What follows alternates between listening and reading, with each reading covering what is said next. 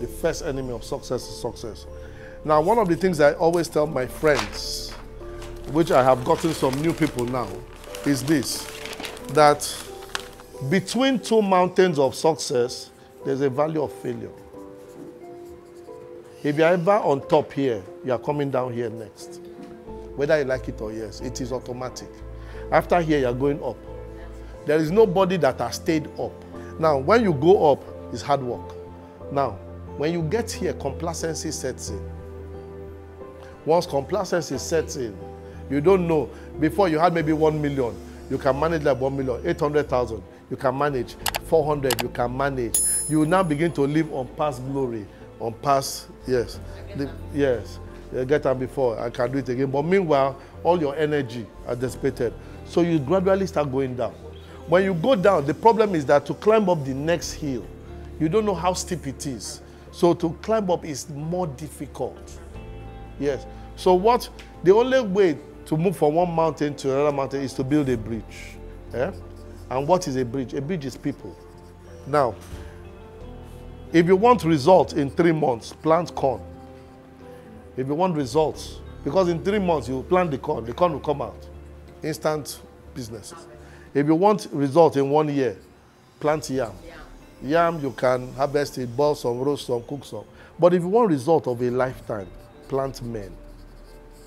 Men. Men. People. Men. So you deliberately have to grow men. Deliberately. Not as an assumption for different things. Because when you become weak here, these people are the ones that will carry you. Yes. First Samuel chapter 22, verse 1 to 2. David escaped into the camp of Adullam and then from his father's house, uh, who were in debt, distressed, and discontented. He became their captain. There were 400 of them. So these men were in debt, distressed, and discontented.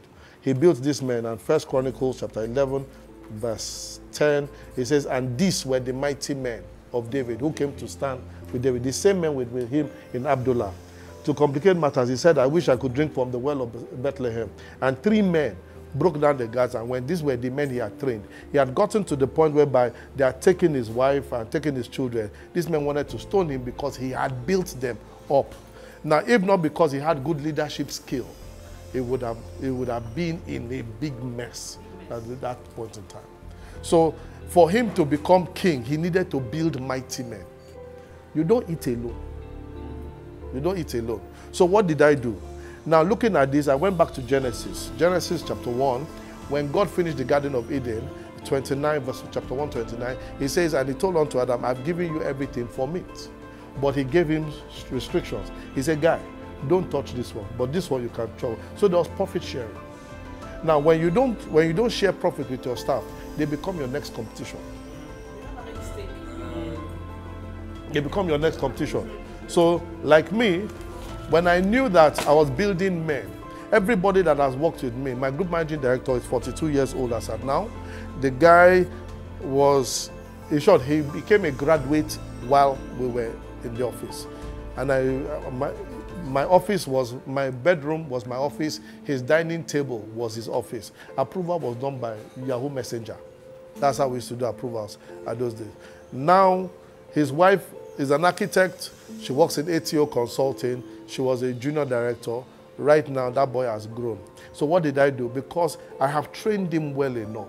So I decided to plan my continuity, my, my legacy plan. And what did I do? I built him a house in Abuja, a duplex in Abuja. I gave him a car, and I also gave him 10% share of a subsidiary. And I did to all the senior managers the same thing. Where do they want to go? I needed to have a meeting with every, all the teams. So like 7 o'clock, I'm in Lagos for a meeting at Ikeja. By 8.39, I'm at the airport flying to Abuja. Yes, I land 12 o'clock Abuja, do my meeting by 1 o'clock, finish by 2 on my way. I'm going to Jos. I'm sleeping in Jos that night. When I finish in Jos, the next morning, I drive to Kari. The team in Maiduguri pick me up at Kari. We have our meeting in Maiduguri 8 p.m. that night. Next morning, I'm off to Kano. Finish in Kano 2 o'clock. I'm on a flight down to Lagos. Enter Lagos, turn around to Port Harcourt. Sleep in Port Harcourt that night. Finish Port Harcourt. Then drive to Warri. Go to Warri. Then from Warri, go to Ibadan. Ibadan. What was Come your back to pay Lagos. like? My pay. Mm-hmm. I did, I did not live for pay. I was living for experience. My pay was less than 150k. You loved the job. I said, remember, my father was killed. So passion had eaten me up. Okay. I had been disowned. So these were people that loved me. Yes. Like being in a cult. Yes. So now this now became Yeah, yes, fra- yes, yes. It had now become my own family. I was disowned. Yes. So this was where the people that accepted me. It was when UBA now wanted was merging with STB. They now said they were looking for a new CSO. So I was headhunted to come down. I had learnt a lot from a lot of people, a lot of companies. It was at this time that I needed to take that decision. What was that decision? I said it is either I get a new job or I go and start a company. That the only way the parachute will come out was to take the risk. Now, everything I had learned, I had learned passion from Pahex Security Company, working day and night. I had learned technology from Alarm Center. I had learned business in Halogen Security. And I also learned corporate governance from Excel. So I learned all the things I needed to learn. It was not left for me to practice it. So I now said, okay, the first thing I needed to do was, okay, to decide what will be my target. Because it is my target that determines my direction. My direction will determine my association. So my target at this point was, if I was going to make any sense in anything I'm doing, I needed to put a target to myself. So I wrote with my hand 100 million naira as my target. Eh? So I wrote 100 million naira and I put it on the wall. Now, our bed at that point in time was on the floor, so and I always used to face the wall. So I Your put bed at home. yes at home. So I put it and I faced the wall, 100, 100 million naira. I put it on my ceiling, 100 million naira. I put it on this wall, 100 million naira. I put it here. So everywhere I turned my eyes, everywhere, my bathroom, my toilet, but in my immediate environment, all my wristwatches, everything was reading 100 million naira. An alarm is set on my phone every 30 minutes. So once I hear it, it automatically reminds me. This book of the law shall not depart out of thy sight. Thou shalt meditate upon it day and night to observe to do according to all that is written there. Where thou shalt have. If thou shalt meditate, thou shalt have. Now, so my pro- my thing there is that I now started thinking about 100 million.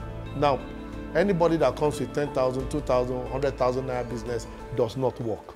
So now that that now made me to look, okay, what kind of business Does not work how? does not work? If you bring a business of a 100,000 naira to me, don't come near me. It's waste of executive time. Uh, yes.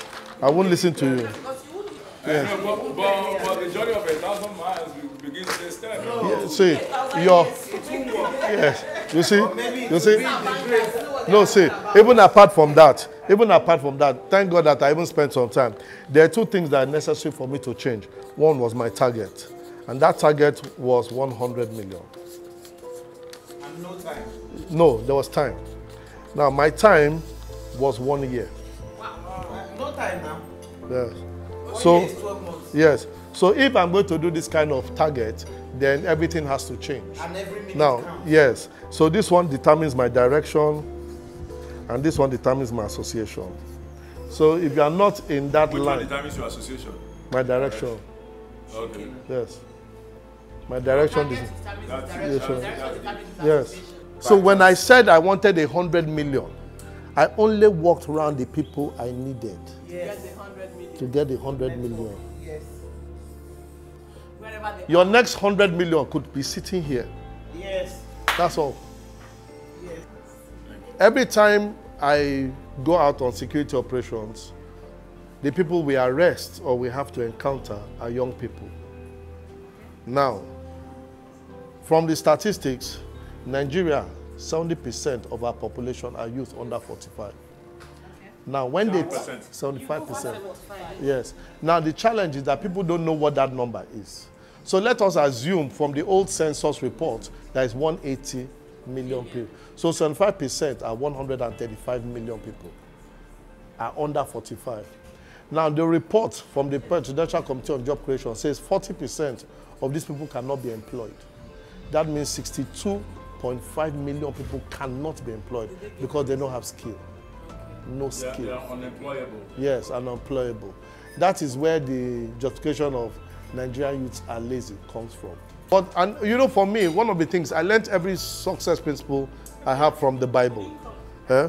And the Bible says that the, the castle is uh, protected, but there's a spider in the bedroom. So what I do is that I try to get to your bedroom. So if I know that you are 20, through social media, I will attack you. There's even said also that there's a the the this the lizard will enter. That there's a guard at the gate. So from there, what I do is I'm able to pass the back and get to your sons and begin to change their mindsets from this early. So now that changed the way I thought, the way I do things. Okay, now while they are getting it, so these were my targets. I know everybody has smartphones. So how do I get to them now? So I now said, okay, the easiest way to get is on IG, Instagram, Facebook, um, uh, Twitter. Now, Snapchat. I'm not a fan of Snapchat. Yes. So, Snapchat. Uh, Ignore that. Snapchat is like give you your news for the day, give you Uh, your weather report. you do Snapchat. Yes, you see, that's a demography. So what I did was to put this and also WhatsApp. Now, so- WhatsApp is linked to your contact Yes. and their contact. So what I did now is that I set up a social media team. Hmm? And this social media team is head, I have a content unit, I have a media unit, I have a distribution unit. So once pictures, videos are taken, he as video will, will take the video and then will send it up here. And then content will add the content and they send it to distribution. Under distribution, there are different groups. So that I now get a social media team and I put them under groups. So I have like under one group I have like 10. I have under 10. So once in the content is prepared, in the morning it is sent to these groups. So by nine o'clock, everybody knows that you have to post. Once it is nine o'clock, once that thing is dropped in the in the in the uh, content in the mother event, um, um, site that is the Ubong King Foundation, everybody screen grabs from them and send. So in one hour, you will have 150,000 people seeing that post at that time. So when you open your phone, you just see it run down. Register. And it takes at least seven impressions before somebody takes a decision. Yes, you may not have known me today. You have seen here, you hear, you hear, you hear. So Well, I just need I just need one. That is just knowing you today is, is good enough. Remember, you cannot grow beyond your imagination. Our problem is not our location. Our problem is our thinking. I refuse to be poor. I refuse to be second class citizen. I refuse to be intimidated. It is what you agree you have.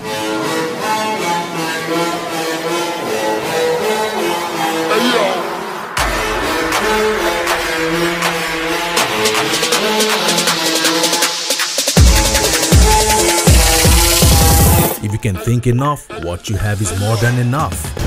Be fruitful, multiply, replenish, and subdue. Build this whole earth.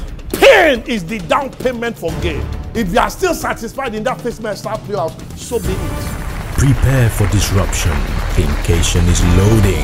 How hungry are you? Come on! I came to unleash people in this house. That's why they say Ahoo! Thinkation 2020. Bigger and better. Do not be left out.